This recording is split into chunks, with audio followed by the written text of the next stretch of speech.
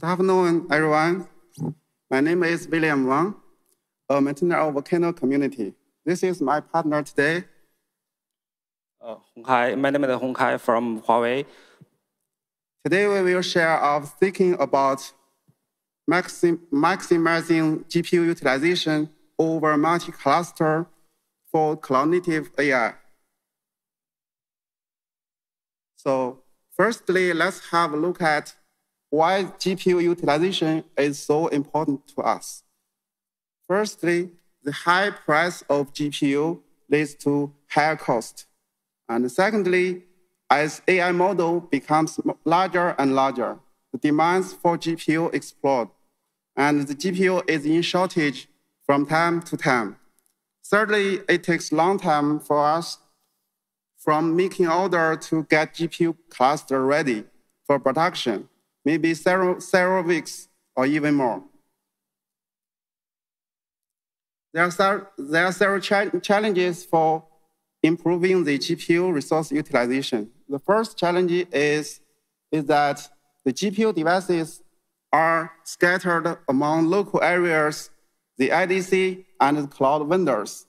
So it making it difficult to manage them uniformly. Secondly, when different teams share the GPU resources, so there are different uh, GPU, GPU generations, different versions, so it's hard to share them fully. Finally, the different GPU models and GPU versions make it difficult to unify.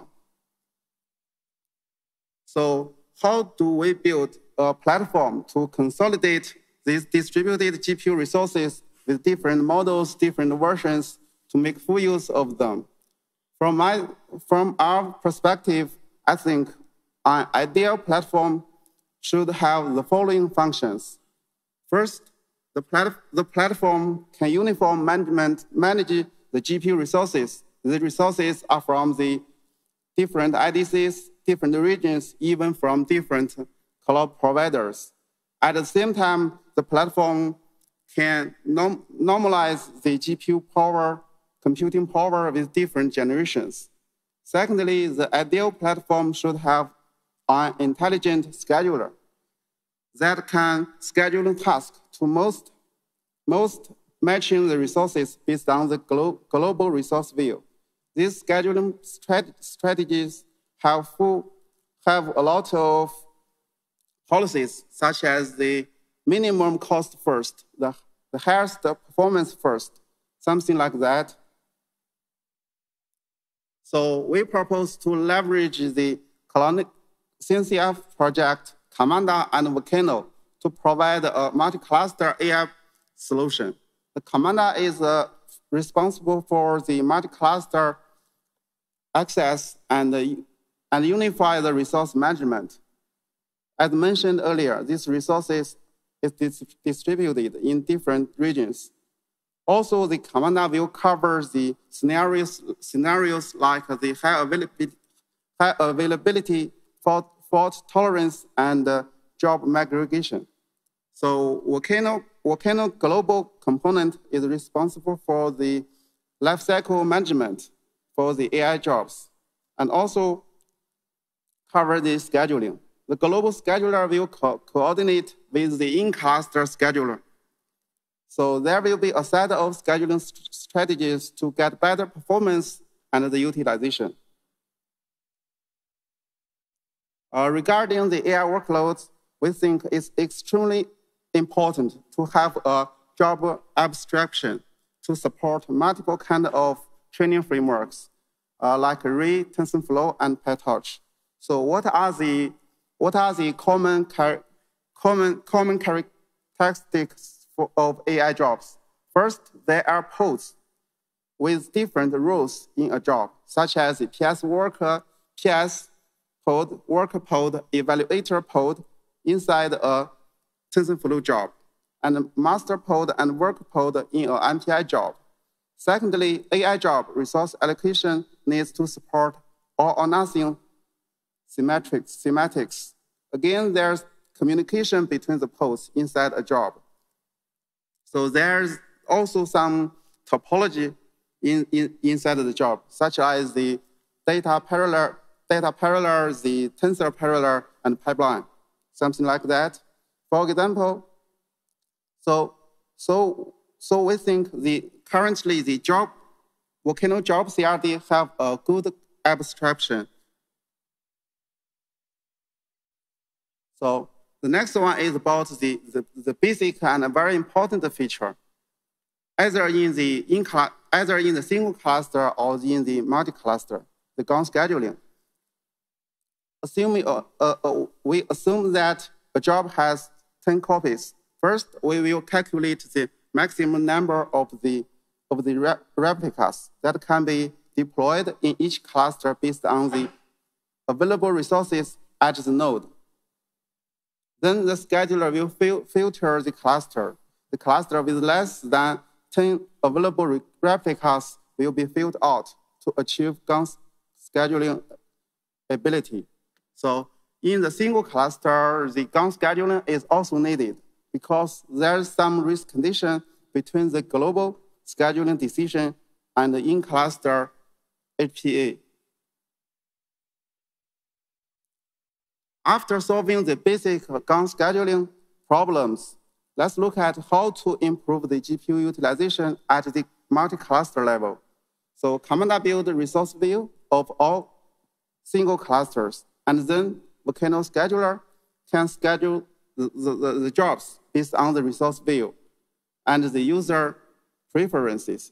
One of the most basic strategies to improve the utilization is bin packing, where which scheduler schedules the pod to the cluster with the higher, higher resource alloc alloc allocation. Then the, the idle nodes can be scaled down and released. For the inference workload, we may don't need to the, the, the, the bin pack. Maybe spread, spread policy is, more, is, is better. So to improve the GPU utilization, the subcluster single cluster strategy is important as well.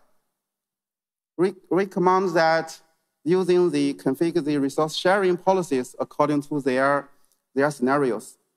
We cannot support the queue for the resource sharing between the multi-tenant. There are two kinds of resource sharing mechanisms. The first one is the, is the proportion strategy user need to configure the weight of each queue. Then the scheduler will allocate resources fairly based on the weight automatically. And the idle resources can be shared to the jobs in, in other queue. And also when there's some resource competition, the scheduler will reclaim resources by weight automatically. So even this, the cluster scale up and scale down, the scheduler always can keep the keep the ratio between different, different users. So this mechanism is quite flexible and the user don't need to configure too much, too much things. The third, the, the, the second, the second mechanism is, is, is use the capacity scheduling, which allows user to configure their reserved resources, the maximum capacity, and the and the capability. So the deserved resources means that but the amount of resources a queue can reclaim from other queue. So these two ways of resource sharing can help users to make full use of their GPU utilization, GPU resources inside a cluster. So another way to improve the utilization is deploy the multiple kind of workload inside one cluster, such as deploy the big data workload and microservices in, inside one cluster, or deploy the training workload and inference workload in, in one cluster. However, there are, there are pre, prerequisites for in, ensuring the QoS for high priority tasks, such as the online services they are typically uh, advertisement workload and uh, recommendation or search business, which are greatly uh, latency sensitive. So we need to guarantee their QoS. So Volcano will add a new component, component uh, named Volcano Agent. This component will work with the, the, the, the underlying open source, open source system to provide the kernel level isolation to ensure the, to ensure the QoS for high priority tasks. At the same time, the component also, also do the oversubscription to increase the container density on the node. So for the next part, let, let, let Hongcai to introduce more about how to use Karmada to management the multi-cluster more efficiently. Okay, thank you. Um, we have a lot of feedback that uh, people want to uh, build a, a, unified infrastructure based on uh, multiple clusters. Uh, and uh, that's why uh, Karmada comes. So Karmada is a Kubernetes management system that enables you to uh, run your applications uh, across multiple clusters, even in multi-cloud. So uh, if you are familiar with the Kubernetes, you will get, uh, you, you, it will be easy to get started as the compo component in Karmada is very, very similar to Kubernetes. And the Karmada control plane uh, including Karmada API server and uh, a controller and a scheduler. And uh, um, the way Karmada manager um, member cluster is a, uh, a cluster needs to register to Karmada, and uh, uh, some clusters might have limited network access. Karmada can support to provide the push mode to let this uh, cluster register. And um, uh, a, com a, component named Karmada agent can be used for that. Um, also uh, provides uh, uh, a lot of features uh, such as cross-cluster application failover, multi-cluster service discovery, and so on. Okay. Uh, before learning more about uh, Karmada, I, uh, let's first understand the, the core concepts of Karmada. The, the first thing you, uh, the, the first is the resource template. Karmada takes the, uh, can take Kubernetes native API and after the configuration, after the YAML created in Karmada API server, Karmada takes this configuration as a, a, raw configuration. We are we call that is a resource template, and with the it, with another propagation policy API, uh, you can describe how and uh, uh, when to distribute distribute your application to to uh, multiple clusters. And uh, uh, the third API, the override policy, you can configure the different configuration for application running in different cluster, such as uh, application run in different different cluster may need to uh, have different image registry, may need to configure different labels, annotations, and so on. So you can uh, you can do it by uh, config uh, override policy. And uh, another two API is the resource binding and the work. That, that's the, they are, they are the internal API. so uh, basically, uh, a resource template created in, in Karmada API server, it will be driven by uh, policy, and then it will be combined in the resource binding and then distributed to different uh, execution space. After that, the, uh, the manifest and the configuration will be uh, delivered to the target cluster. Okay. Uh, the picture on the left is, uh, is uh, the normal way that people manage, manage multiple cluster. the, admin, the administrator might be uh, do a lot of uh, re uh, repeat operations on these clusters. And with Karmada, uh, you can uh, you can let Karmada manage this cluster, and all the operation can be done against the Karmada API server. Yeah, uh, over the over the past uh, uh few years, I've I've talked with uh, many many uh, infrastructure administrators. I've noticed that the way they manage multiple clusters is quite primitive they usually maintain a list of clusters and uh, along with the kubeconfig files. And when they want to operate a separate cluster, they need to switch the uh, uh, kubeconfig again and again. So that is annoying.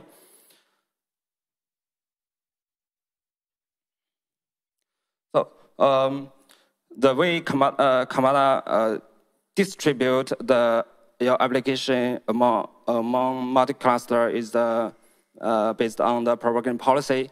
Uh, the scheduler will uh, select uh, target clusters based on the rules defined in the propagation policy. And uh, uh, the resource manifest may vary in different member clusters. So when before Karmada deliver the the configuration to target cluster, it can override any fields in it. So uh, you can use a, a propagation policy to replicate an application to multiple clusters or just uh, split the applications to uh, multiple, multiple clusters.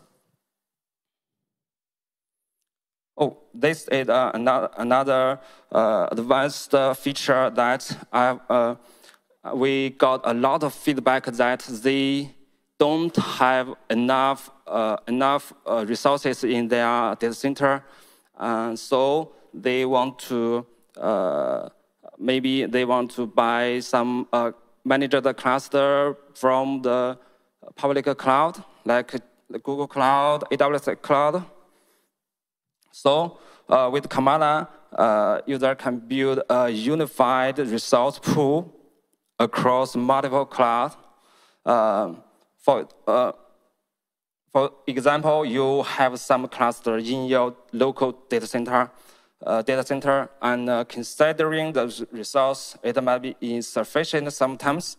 You can uh, you can scale your workload to public, and um, but uh, uh, the during the scale, the the local IDC resource always preferred that uh, can use uh, th that will be useful to for save uh, cost saving. Uh, I will give an example about uh, how to uh, define cluster group with the propagation policy. Um, policy is the most important APIs in Karmada. Uh, from the uh, policy, you can see you can you can you can specify which resource that that that means which application you want to propagate, and uh, oh, you also uh, you can um, uh, declare where the application should be delivered to.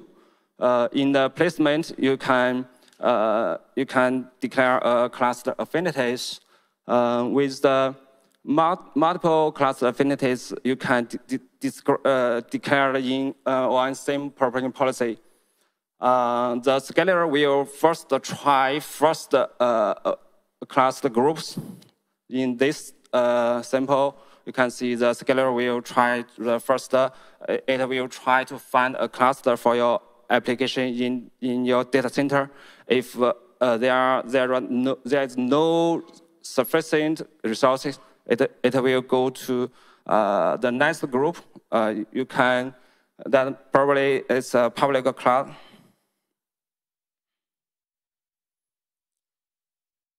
So uh, an, an, another uh, feature is the uh, failover.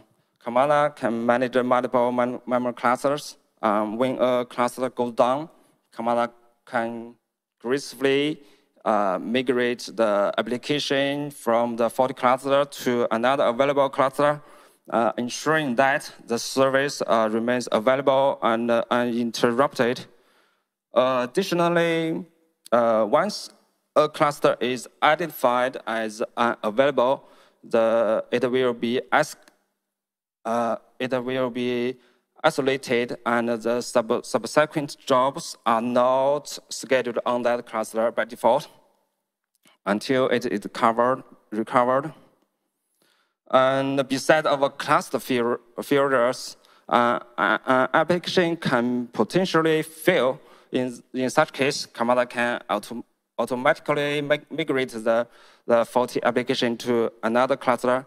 Uh, the more important is uh, the user can fully control the uh, migration process by uh, define when the Karmada should take actions uh, uh, uh, take, when Karmada can take actions and how the migration be, behaviors. also, Karmada also leaves the rooms for Kubernetes cluster to uh, retry the field job. Okay, um, uh, in Karmada, there are two layers of uh, scheduling, and uh, uh, there is a balance in Karmada that we want to uh, uh, provide accuracy scheduling in the first level and try to not use so much so much resources. So um, when Karmada selects a cluster for your application, uh, sorry. Uh, uh,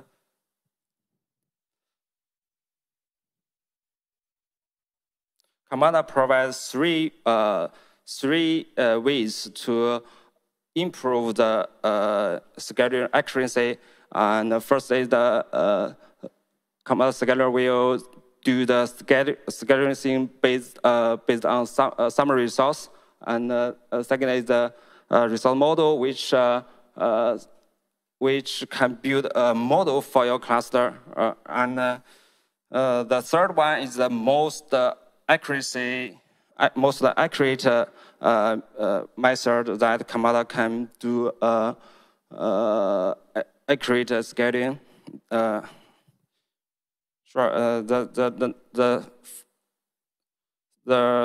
the, the accurate estimate will uh, consume uh, more resources. Okay, this is the resource summary looks like. Uh, Karmada will count will count all the resources, all the uh, available resources based on uh, by uh, count the resources in the in the node node object. And uh, uh, will see how many available resources on, on the cluster. Uh, this is the resource model. Uh, for user, user can uh, declare uh, a resource model to Karmada and tell Karmada how to build the model for the, for the cluster.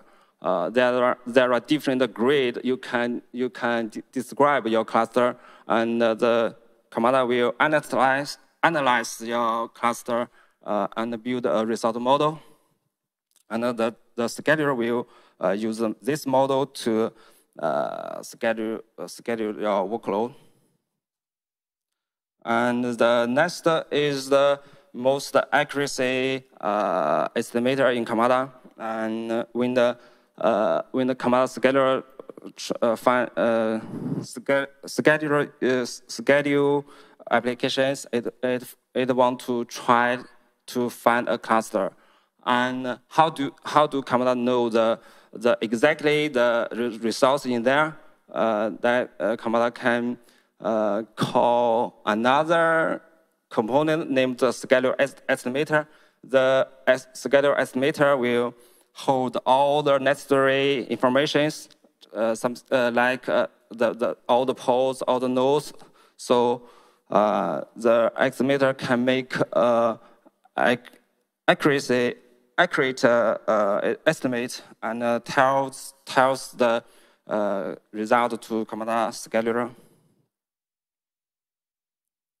Okay, what if the what if the first first layer schedule not work, and uh, what if uh, an application has been failed and uh, um, disabled by uh, disabled in in member cluster? That that may be happening because some node might be gone. So in that case, Karmada also have a method that it Karmada can detects how uh, de detects the uh, detect the applications and find out how many unscheduled replicas uh, uh, application has in the target scheduled uh, cluster. Mm, then it will evict them from uh, from uh, uh, from the cluster, and and then Karmada scheduler will will schedule the application again to find another available cluster. So uh, welcome to uh, talk with us about any questions, any features you want. Uh, so you can find us from uh, GitHub or the CNCF Slack. Okay.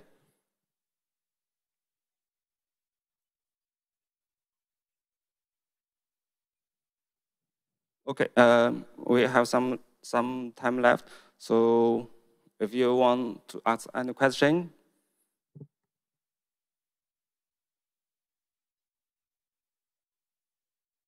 Oh, no questions. One, two, three. Okay, thank you.